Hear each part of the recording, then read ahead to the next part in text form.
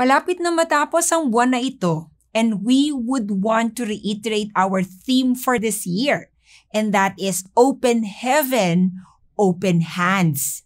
At kung nais natin na talagang matanggap ang mga pagpapala mula sa bukas na kalangitan, dapat po we have to make our resolutions fixed.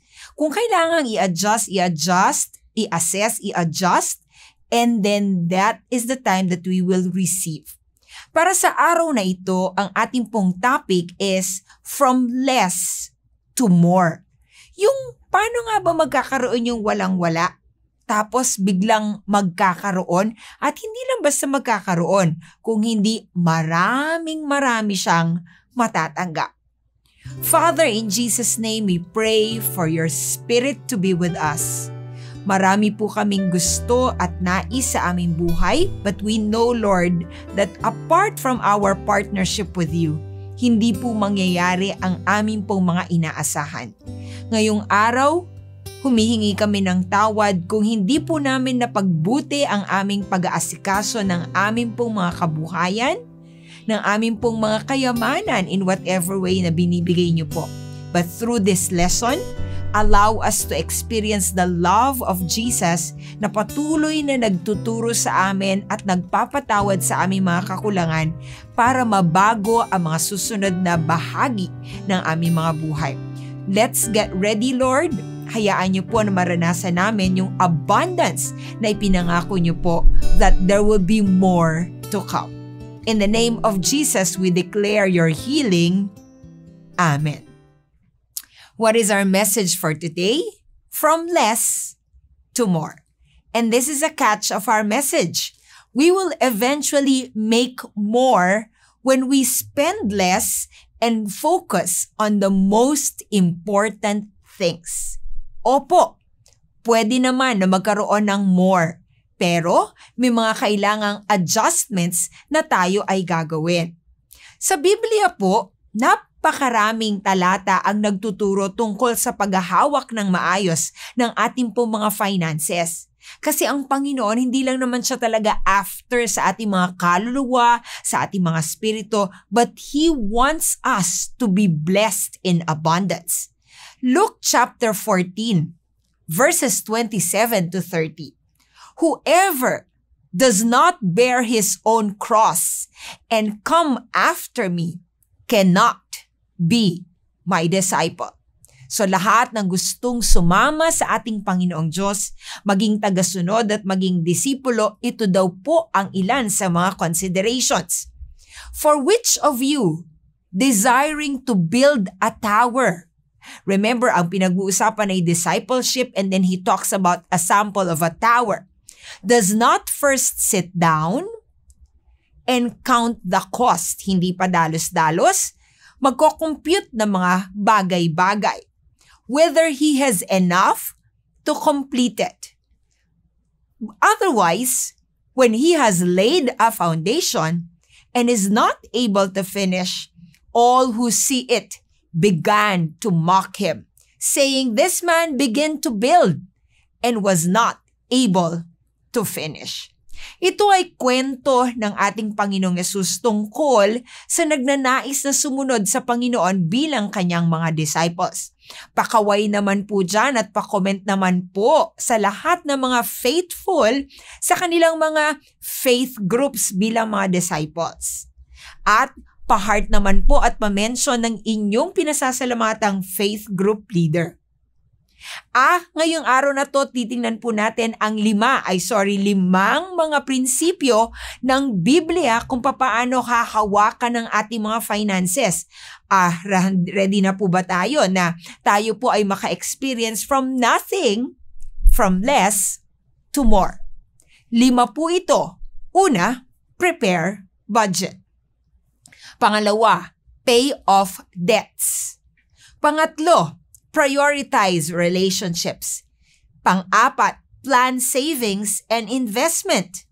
And number five, promote generosity.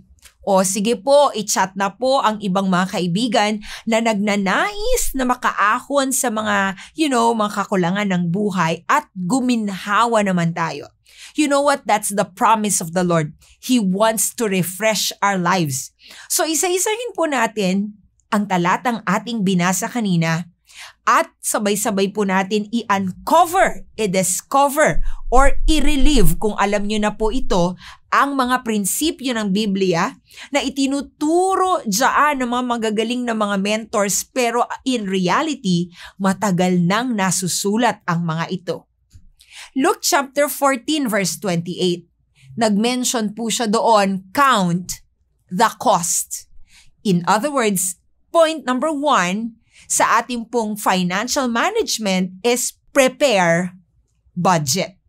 Yes, ang budget po ay napaka-importanting simula kung nais mo na magkaroon ng maraming finances ngayong darating na mga taon. Ang budget po is a commitment strategy. Opo, kapag nagsulat ka ng lahat ng expenses mo at ano ang mga due dates nito, kinakailangan ibigay mo ang sarili mo na ito ay susundin. Marami naman talagang gumagawa nito. Pero drawing-drawing lang, sa simula lang ng taon, sa simula ng buwan, pero hindi po pwede yon If you want to have more in life, kailangan po ng commitment. Pakisabi nga po dyan sa chat box, commitment. Matthew chapter 6 verse 21. For where your treasure is, kung saan daw po nandun ang ating mga kayamanan, there your treasure, your wishes, your desires, that on which your life centers will be also. Nasaan nga po ba ang ating mga kayamanan? Nasaan po na uubos ang ating mga oras? Ang sabi ng talata kanina, kung saan nandoon ang iyong finances, kung saan nandoon ang iyong oras, nandoon ang iyong puso. Tingnan natin ang ating mga kalendaryo, ang buong maghapon saan naubos, at makikita mo yon ang kumuha ng iyong puso. Budgeting is also a spiritual discipline. Hindi lang po pagbabasa ng Bible, pagwo-worship, pagfa-faith group, pagfa-fasting, ang spiritual disciplines. Ang pagbabudgeting din po. Opo, kasi it takes a lot of self-control para mangyari na masunod ang sinet na budget. Kasi ang budget na ginagawa natin, ang sinasabi natin, ito ang ating income, at pagkakasyahin po natin, una ang Diyos sa budget at all the rest, gagastusin natin ng tama lang sa ating mga natatanggap. Budget po will not give you a better life. But katulad po ng isang uh, vehicle, you know, sasakyan, budgeting is a vehicle that brings us to a certain destination. If we aim at nothing, we will get nothing. Gusto mong pumunta sa Boracay? Sarap naman talaga. Saan ka sasakay mula sa bahay mo papunta doon sa airport at papunta sa iyong binook na hotel? Yan po ang point ng budgeting ito ay parang sasakyan na magdadala sa iyo from point A to point B. Gusto mong magkaroon ng bahay, that's your destination. Gusto mong magkaroon ng sasakyan, that's your destination. And how do you get there? How do you go there? Through your disciplined budgeting. What is point number one for us to have more from less is to prepare a budget. Ngayon na, kaibigan, ngayon na po, hindi lang po ito pinakikinggan. Gagawin po natin, ang pinaka-workshop po natin ay magsulat na po kung magkano ba at ano-ano ang ating mga expenses, ano ba ang mga due dates nito sa buong isang buwan. Pagkasyahin po natin kung ano ang ating natatanggap. Ikalawa po, Luke chapter 14 verse 29. Otherwise, when he has laid a foundation and is not able to finish, all who see it will begin to mock him. Oo, gumawa ng budget. Kasama sa ginawang budget, may mga plano ang daming gustong gawin sa building na itinatayo, sa tower na itinatayo. Pero ano ang sabi ng talata? Kinakailangan daw na maayos ang foundation. Kasi pag naubos ang sinet na budget, hindi matatapos ang ating mga sinimulan. Ikalawang importanteng punto sa lahat ng mga ka-faithful na gustong guminhawa ang buhay. Medyo masakit po ito ng konti. Pay off debts. Kailangan po nating bayaran ang ating lahat po ng mga utang. Oops! Wait lang po. Alam ko po na mahirap ito lalo't napakatagal na panahon na tayo ay nalubog dito. Pero may pag-asa. Yes po. Ngayon na naririnig natin ito sa tulong ng Panginoong Diyos, makakayanan po natin makalaya hindi lang sa kasalanan, makalaya hindi lang po sa mga bitag ng mga kaaway, pero alam ko ito ang isang pinaka pinagmumula ng mga stress natin, ang ating mga utang. At ngayon kaibigan, ito ang araw ng ating kalayaan. Let's consider the Word of God. Ang utang po, debt, is not a sin, nor a way of salvation. Hindi naman po kasalanan ang utang. Pero kung ito ay nagiging habit na at paulit-ulit na, yun po ang nagiging bunga o magiging daan ng mga hindi magagandang bagay sa ating buhay. Pati nga spiritually, emotionally, at uh, mentally naapektuhan tayo. At ang utang din po is never a way of salvation. Kapag nag-bless ang Diyos, hindi niya padadaanin sa utang. Oo, may mga utang na parang, okay, pinagagaan ang buhay mo. Pero bayaran natin sa tamang date po ha. Kasi kapag merong lumalampas sa mga dates-dates na yan, dyan na po pumapasok ang mga kaaway natin at capital I po ang tawag sa kanya and that is interest. Friend po yan ng mga nag invest Friend yan ng mga nagnenegosyo. Pero kung ikaw ang nagbabayad nito, hindi mo kaibigan si I, si interests. Proverbs 22 verse 7. Poor people are slaves of the rich. Borrow money and you are the lender's slave. Yan po ang konsepto ng utang. Hindi baga nung unang panahon wala ka naman credit card aayaw-ayaw ka pa pero ang sus, uh, uh, masusugid ang mga nag-aalok nito. Dati po kasi noon pahirapan para makakuha niyan. Ngayon po, ang bilis-bilis na lang. Not just one, but two or three or four credit cards. Ang payo ko po sa inyong lahat, unsolicited ad- advice. Baka po pwedeng kung magka-credit card ay isa na lang para kontroladong kontrolado mo lahat. Maganda nga kung debit card. Ang debit card, may nakalagay na talagang pondo at yun ang parang ginawa mong wallet at minaminus doon in accordance to your budget. Um, maganda po na in, this uh, years um, open heaven, open hands, magpo-provide ang Panginoon. Pero nung mga panahon ko po, na kami po ay talagang nakaranas nito, mahirap harapin kung magkano lahat ang dapat bayaran. But with the power of God in us, the truth will set us free. Oo, isang gabi, isang araw, harapin mo sa tulong ng Holy Spirit. Isulat mo lahat ng maaalala mo sa record mo na kailangan mong bayaran. Not necessarily do it all today, but we lift it all to God. At lagyan natin ng plano in accordance to our budget kung ano ang priority na dapat bayaran, ano ang susunod, kailan, kailan, kailan. Alam mo, magigising ka na lang isang umaga. Malayang malaya ka na sa lahat ng mga babayarin. Pero wait lang po ha, habang nagbabayad ng mga kautangan, baka po pwede na iwasan ang gumawa ng mga susunod pang pagkakautang.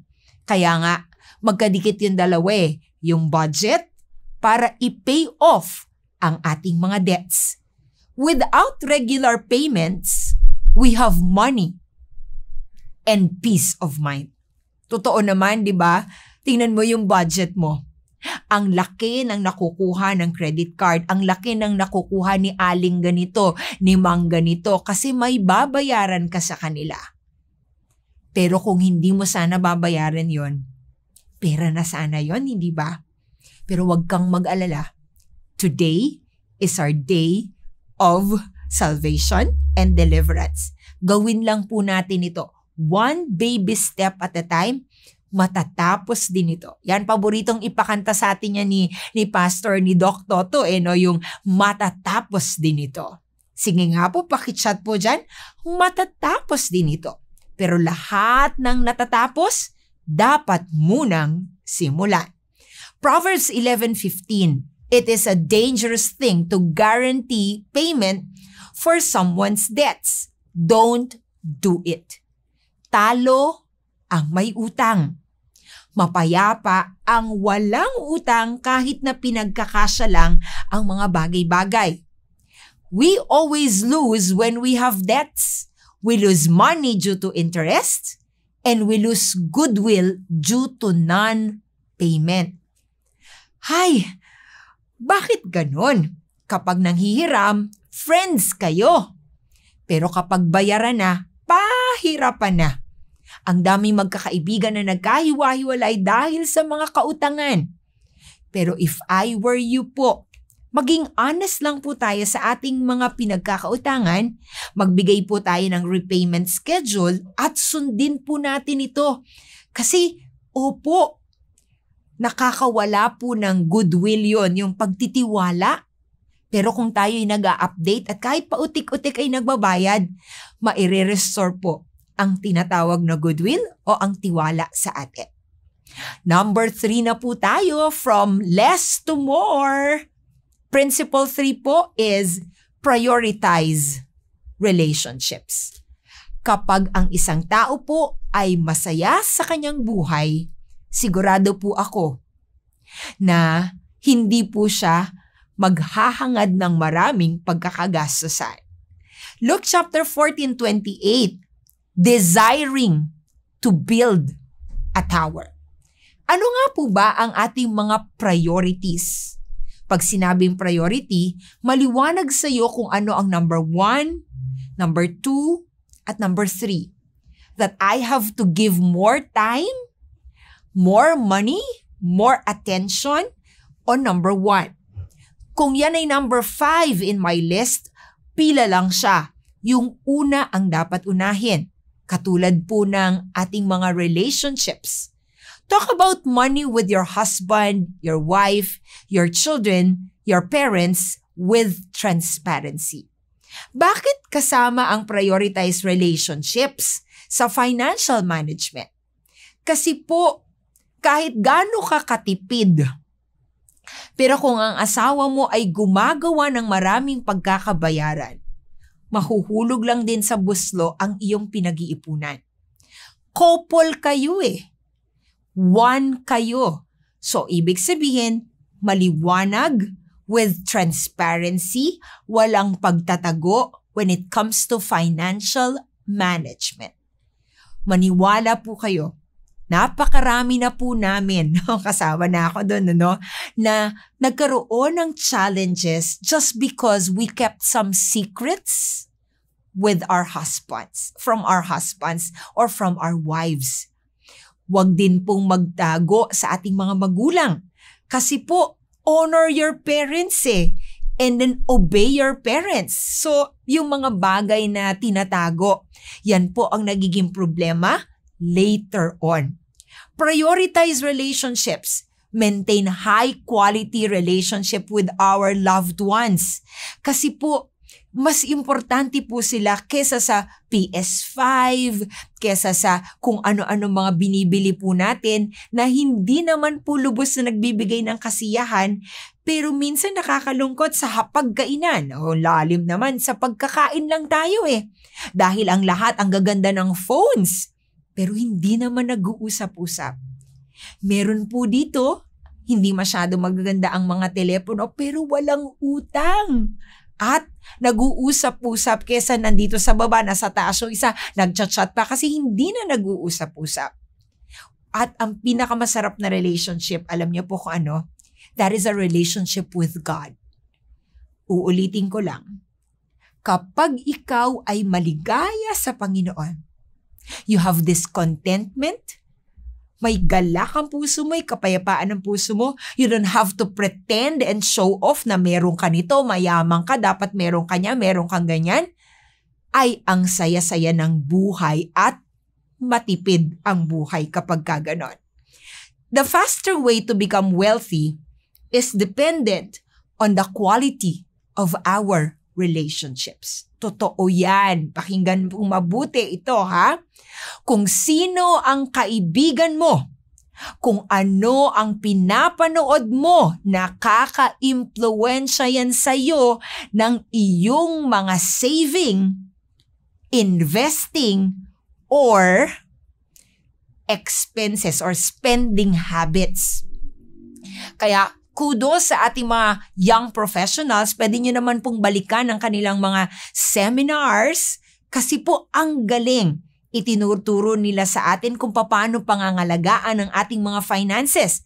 1 Corinthians 15.33 Do not be deceived. Evil company corrupts good habits. Kapag ang kaibigan mo gastador ng gasta ng gasta, bili ng bili, masisigurado ko sa'yo, ikaw din ganon. Grabe nga ngayon eh. Bata pa lang magastos na. Imbis na Angel's Pizza o ano ba ba, yung mga pizza-pizza tabi-tabi, aba ay gusto pa ay mamahaling pizza that starts with the letter S. Okay lang yan if it's within the budget. Pwede naman yung milk tea na ititimplang mo lang, uso na rin yan. Pero ang gusto pa, yung mga milk tea na branded. At araw-araw pa yun. Bakit?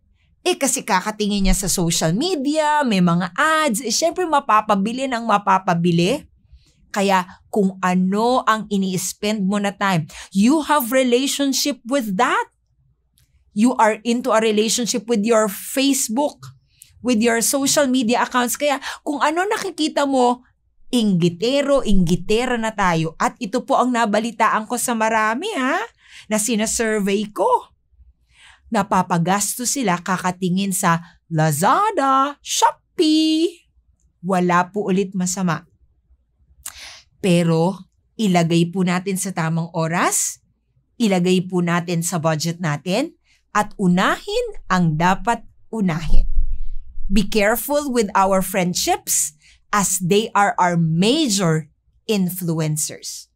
With all due respect, nung mga nakalipas na panahon, may maliwanag ang ating pagpapahalaga sa kasal at sa pagsasama at pagkakaroon ng anak.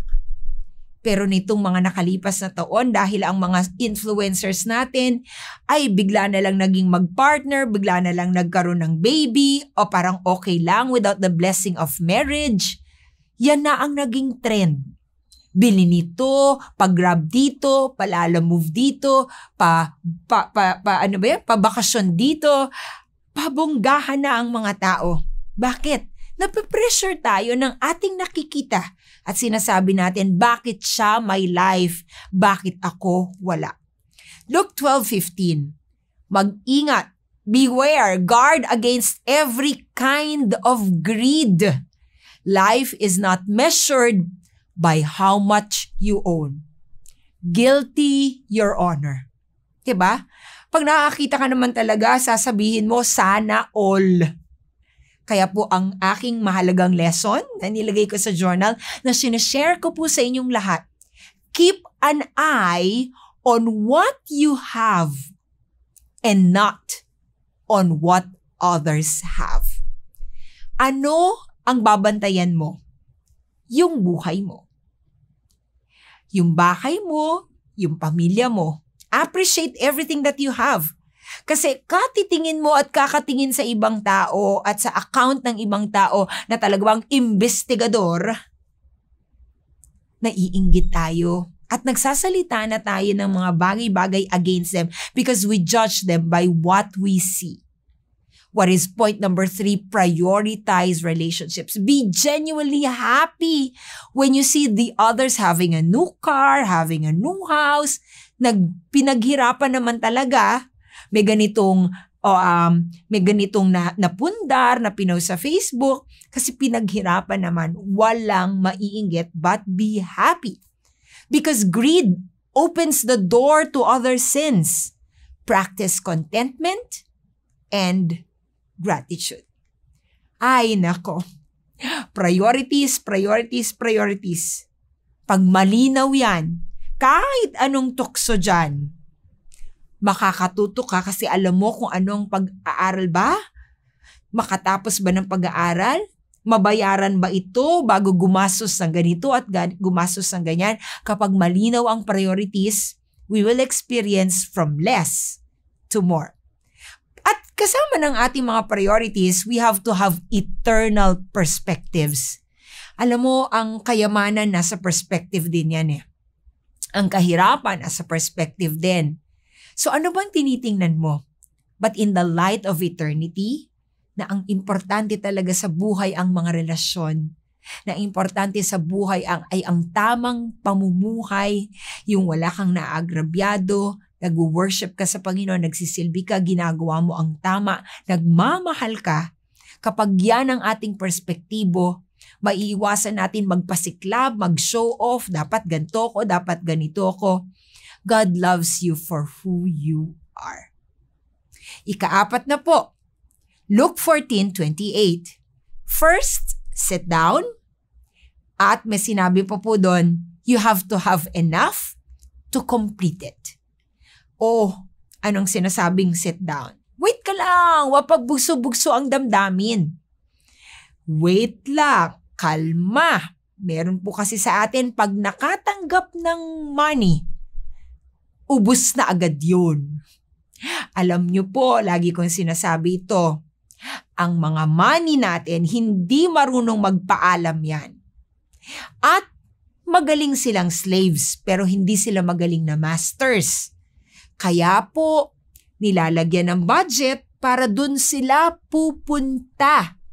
Iisiping mabuti kung kailangan ba uh, may mga spreadsheets na po na available. May mga apps na po na available kung paano i-track ang ating pinupuntahan ng ating mga budget at finances. Paki-check nyo na lang po yon. So sa principle number four is plan savings and investment.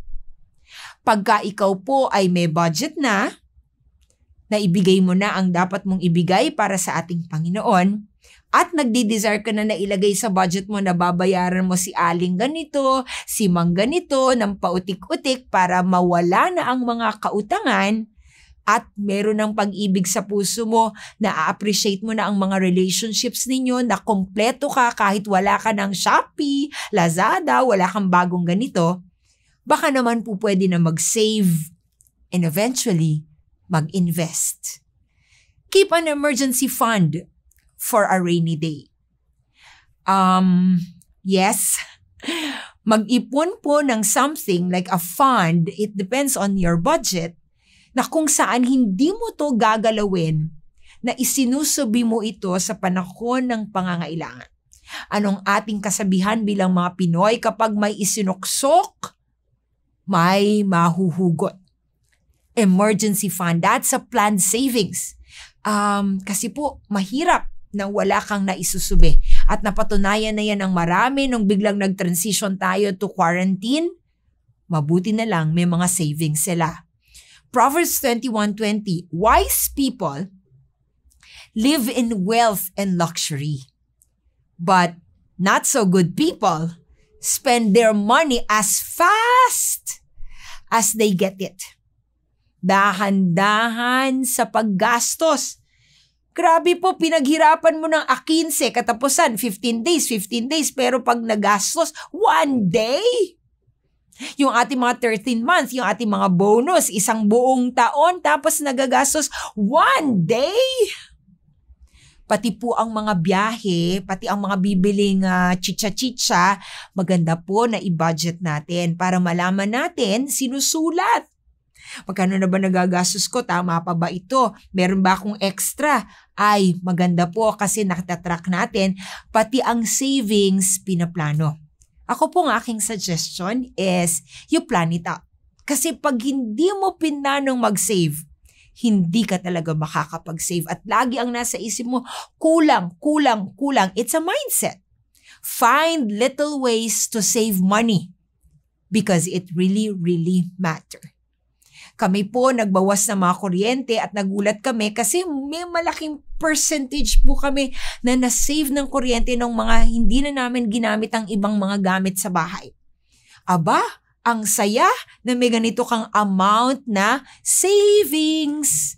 So kahit maliliit, yung mga hinuhulog-hulog araw-araw, 5-5 piso, 10-10 piso, 50-50, magkano yun sa loob ng isang buwan? Luke chapter 16 verse 10, Anyone who can be trusted in little matters can also be trusted in important matters. Iba ang savings, iba ang investing. Naalala mo yung parable? O di ba? Meron tinago lang, that's savings. Pero merong nag-invest, that is investment. Yung investing and spending is a way to honor and obey God. Sa lahat ng ating pong paggagastusin, sa lahat po ng ating pagsisavings, sa lahat po ng ating mga pag invest lagi po nating iisipin, Lord, matutuwa ka ba pag binili ko to? Matutuwa ka ba pag ginamit ko ang pera ko sa ganitong bagay?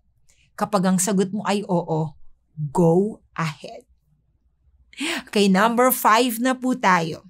Pa-comment naman po kung tayo po ay natututo at hindi nagigilty alam niyo po yung conviction na magbabago ako, galing yan sa Holy Spirit. Pero yung condemnation o ano, ano, ano, wala kawawa ka talaga, dami mo ng palpak, hindi galing yan sa Panginoon. And we rebuke it in Jesus' name. Luke chapter 14 verse 27. Come after me, be my disciple. Kung nais po talaga natin makasunod sa ating Panginoon, at hindi lang follower, hindi lang fan. By the way, pa-subscribe din naman po para sa ating uh, faithful page. We want to be disciples. We have to follow principle number five. And that is promote generosity. Generosity. Hindi lang po ito sa finances, kundi sa napakaraming bagay. Alam niyo po, may kwento ko lang nitong isang araw na ako po ay nagpa-vaccine ng booster. Kaya po ini-encourage ko ang lahat because it's safer when we're vaccinated. Um, okay naman po ako because, you know, past two vaccination shots, okay lang. Pero nung nasa screening part na po ako, yung nag-screen po sa akin, parang may mga sinasabi siyang nakaka-rattle meron siya mga kwentong hindi okay, hindi maganda. At nagstay pa po ako doon dahil wala naman akong ginagawa. So nakikinig lang ako sa kanya. Tapos uupo ka, mag-wait, mag-wait. Alam mo ang ginawa ng kaaway? Pinaisip sa akin ng pinaisip yung mga hindi magagandang bagay na naririnig ko. Kinabahan ako. At sabi ko, ano ba, ano ba, ano ba ito? Naiisip ko, baka ganito, baka ganito, pagkaturok sa akin, ganito, ganyan, ganyan you know what? I prayed and I texted my uh, I, I I texted my faith group and I asked them for prayers. And even after I texted them and asked for prayer, pati natatakot pa rin ako. I kept on declaring, I kept on rebuking. And finally, nung na-job na ako, okay naman. Pero may isang tao po na nakatulong sa akin ng mabuti at nagchat-chat siya ng magagandang bagay habang ino-overcome ko rin in prayers yung aking mga narinig. Some people are really very generous in giving comments, no? Some people are not also very generous when it comes to giving remarks or stories. Pero ang sinasabi ko po dito, if we want to be blessed with more, more favor, more friends, more finances, we have to practice generosity. You know, generosity is a spirit, and its baseline is our 10% to God. Pag generous ka sa iyong finances, alam ko, generous ka dapat una sa Panginoon. Because when you give to other people, at wala si Lord doon, that is just a show. But when you give to the Lord faithfully and consistently, you acknowledge that He is the owner of everything that you have, then that spirit of generosity will be with you. Alam natin ito, we are made in the image of God. And what is God's image? He is a giver. He gave His only begotten Son to save us from our sins. He gave us understanding. He gave us grace. He gave us forgiveness. He gave us, you know, second, third, fourth, 100 chances. He gives everything to us.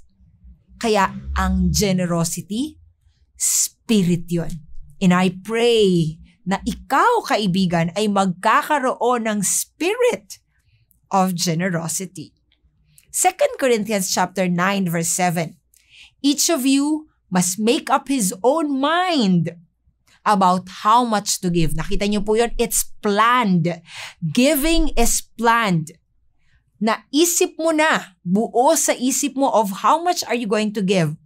But don't feel sorry that you must give and don't feel that you are forced to give. God loves people who love to give. In other translation, God loves a cheerful giver and not a compulsive giver. Kaya lagi ko itong sinasabi eh. Oo, may need ang church. Oo, may need ang missions at ang operations natin. Pero kung tayo ay napipilitan, wag na lang. Because God doesn't love people God doesn't love the giving of those people who don't don't have love in their hearts as they give. Yun napipilitan. Because God loves a cheerful giver. Ang giving po ay pinaplano. Pinaplano mo na ngayon 10%, baka next month, Lord, mag adjust na ako because I want to be generous to you as you have been generous and faithful to me. Pinaplano yan at pinagdidesisyonan intentionally ng cheerful heart that blesses our family tree.